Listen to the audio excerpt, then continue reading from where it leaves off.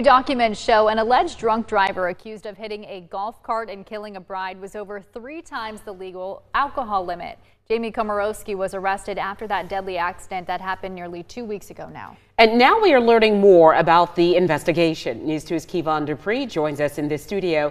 Kevon, that accident left the bride dead and several others seriously injured, including her husband. What is the latest from this investigation? Aaron Carolyn, the toxicology report provided by the South Carolina Law Enforcement Division shows that Komorowski had a blood alcohol level of 0.261, which is more than three times the legal limit on the night of April 28th when that accident occurred. Now, police officials tell us that level of intoxication is enough for anyone to fail all three sobriety tests.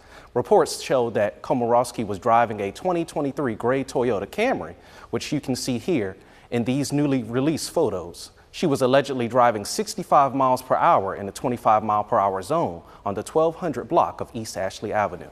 Samantha Miller, the bride who was riding on the back of the cart, died as a result of the collision.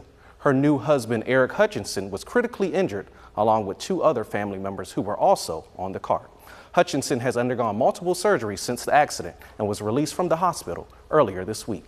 The newly released documents state that Komorowski told police she had only two drinks, a beer and a tequila pineapple.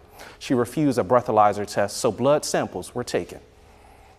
And Komorowski is facing several felony charges for the collision, including vehicular homicide.